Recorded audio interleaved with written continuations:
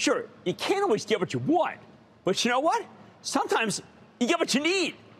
Sometimes things are, are, are getting really good in our economy, even as we don't seem to realize it. And that's how you get a daily today, where the Dow vaulted 408 points, S&P gained 0.9%, and the Nasdaq advanced 0.61%.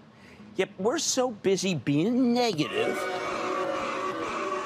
including that surprise plummet we had Friday to finish a really sorry week, that we just can't see the positives that are around us.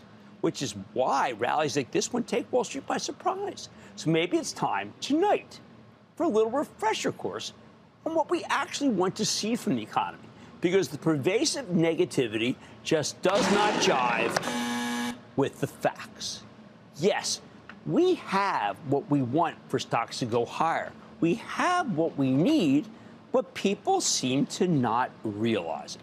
So, first, if you are a bull, there is an historic, unassailable goal for higher stock prices.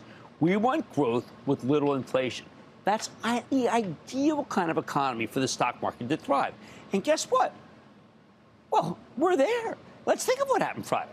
First, we got this terrific employment report. We created 187,000 jobs, which is decent, but it's not explosive. We didn't want explosive, explosive because unemployment's already at 3.5%. Now, we have become so conditioned to believe that low unemployment's bad news for the market that we actually went down on Friday off of an ideal set of numbers. That's just crazy town, people. Crazy town.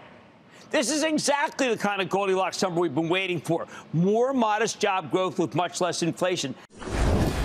Don't miss a second of Mad Money. Follow at Jim Cramer on Twitter. Have a question? Tweet Cramer. Hashtag mad tweets. Send Jim an email to madmoney at cnbc.com or give us a call at 1 800 743 CNBC. Miss something? Head to madmoney.cnbc.com.